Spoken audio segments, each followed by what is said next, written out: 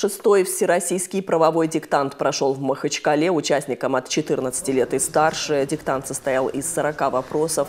Тема – основы законодательства в сфере уголовной ответственности, Конституции России, а также трудовых, семейных и гражданских прав. С участниками диктанта встретились преподаватели юридических факультетов, общественники и представители власти. Они отметили, ежегодно дагестанцы попадают в топ-10 субъектов по количеству баллов за диктант. Юридические знания, правовые знания, они важны. Важны не только для специалистов, э, юристов, но и э, для людей, занимающихся бизнесом, для э, людей просто во многих бытовых вопросах. Мы все-таки стараемся повысить качество и уровень как юридического образования, качество и уровень правовых знаний населения.